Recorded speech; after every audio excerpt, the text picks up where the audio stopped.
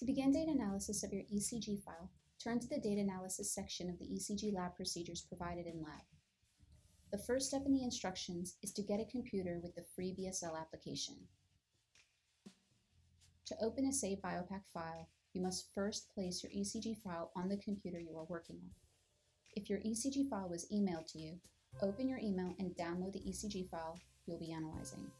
Do not try to open the attachment directly from your email.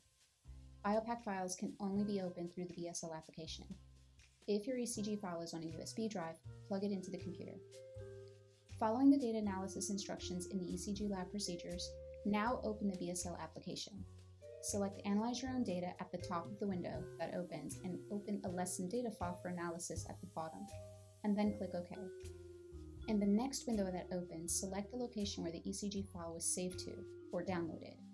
If saved to a flash drive, Locate the flash drive on the left side column and select the lesson file.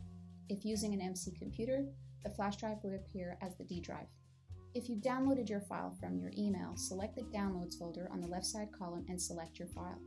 If you get to this point, however, and see your file, but are unable to select it, this is generally due to a change in the file extension done by the server.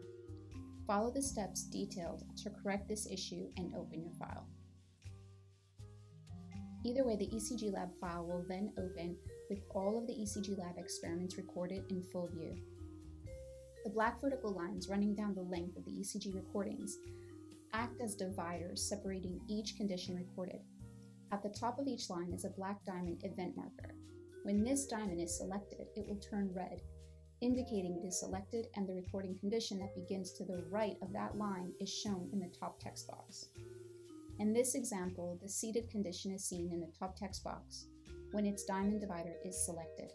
If you click the next diamond marker, deep breathing will appear in the text box followed by arrowhead markers that either represent the start of inhale or the start of exhale. These dividers and titles ensure that you know what condition you're looking at. If your ECG was recorded correctly, you should have four sections visible on your screen. The left and right event arrows on the far right of the screen are useful in jumping back and forth between these event markers. In this example, we'll use the left event arrow to move back to the supine event marker. If any portion of your ECG recording strip or heart rate recording strip are cut off from view, select Display from the top menu, and then Auto Scale Waveforms from the menu list. This will bring everything into clear view. Scroll down to the bottom half of the screen to the Journal section, Make sure Journal is selected and then scroll down until you see Table 5.2. For this table, you will be highlighting three individual cardiac cycles inside of each condition recorded and then calculating their mean value using the software. In order to do this, you have to first zoom into portions of each recorded condition so that you can properly highlight cardiac cycles. To zoom in, select the magnifying glass on the right toolbar. Bring it over to the first recording section, which is where 20 seconds of the supine condition was recorded. Bring the magnifying tool to the far top left corner of the ECG recording strip. Hold down the left click of your mouse or touchpad and keep the left click down as you move the magnifier toward the bottom right corner of the supine recording. In this example, the left click is released too soon. If this occurs and you've zoomed in too much, select Display from the top menu bar and then zoom back. In some instances, you may need to select this several times before you're back at the full screen view. Once there, again, hold down the left click at the top left of the recording section and drag the magnifier to the bottom right, selecting about a third of the entire supine recording. A temporary box will form indicating the section being magnified. When the left click is released, the ECG and heart rate strips will then be zoomed into. Now select the I-beam tool on the far right and bring it over the ECG recording. You must skip the first two seconds of any recording condition as the heart rate is always initially set at zero and will give you a false reading if highlighted.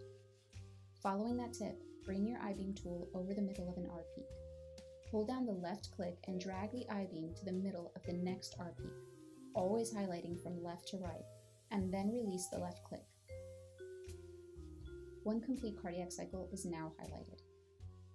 To insert the heart rate value for this cycle in Table 5.2, place your cursor inside the table under the Cycle 1 column in the supine row. Right-click where you want to insert the value and select Insert Single Measurement Value from the menu list that appears. If this list doesn't appear, it is because you are not right-clicking inside the table. Additionally, Mac users may have to do a two or three finger right-click on their touchpad to showcase this menu. A BioPAC Student Lab window will then open asking what measurement to insert. Select the measurement indicated at the top of the table. For Table 5.2, you will always select Channel 40 value from the list. The heart rate for the cardiac cycle highlighted will then appear in the first column of the supine row in Table 5.2. If you insert it in the wrong location in the table, you can hit Ctrl Z to undo the insert. If a negative value appears in the table, this is due to you highlighting from right to left instead of left to right, and you'll have to redo the highlight. Now highlight a second cardiac cycle inside the supine ECG recording section. You may select consecutive cycles near the beginning, or scroll through the supine ECG strip to select other cycles. Just be sure to stay inside the first 20 seconds of the second bar, which is where the supine recording is. Once again, highlight from R peak to R peak, from left to right, as previously done. Right click in the second column of the supine row. Select Insert Single Measurement Value from the menu. Select Channel 40 value from the window that opens. Then repeat the same steps for a third cardiac cycle.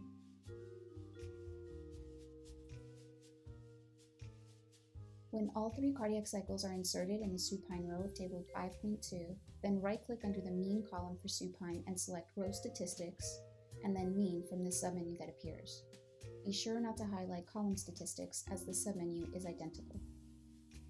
With the supine row now complete, select the right event arrow on the far right of the screen. This will jump you to the next vertical divider, Make sure that the diamond event marker above this line is red and that the top text box indicates the seated condition. Use the horizontal scroll bar in the middle of the screen to bring the beginning of the recording condition into better view. Once there, select Display and then Auto Scale Waveforms to ensure the best view of the recording strips. Once again, skip the first two seconds of the recording when the heart rate is set to zero, and then using the I-beam tool, highlight a cardiac cycle from the middle of one R peak to the middle of the next R peak holding down the left click. Then right-click under Cycle 1 for the seated row in Table 5.2, select Insert Single Measurement Value, and select Channel 40 Value from the window that opens.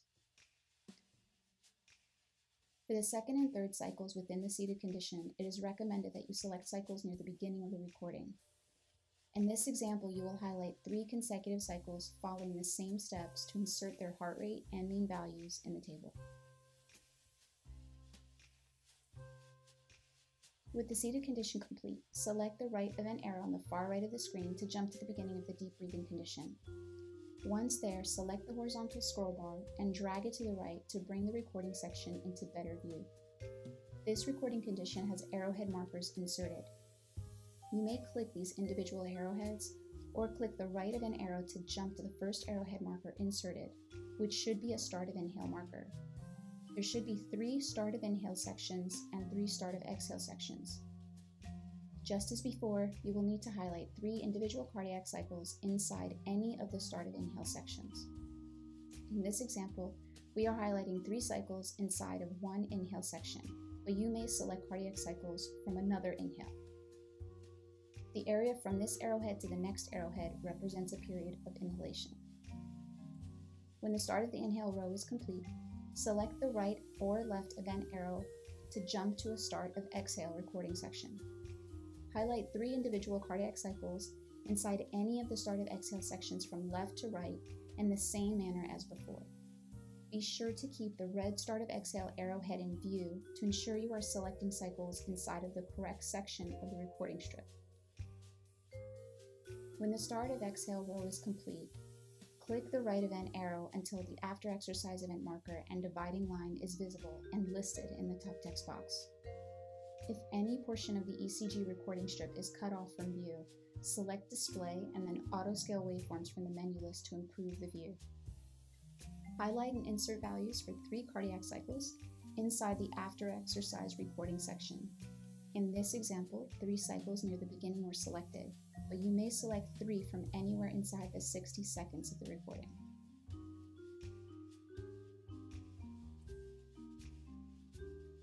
When Table 5.2 is complete, you can transfer values by hand to the ECG post-lab data tables in your must-know book.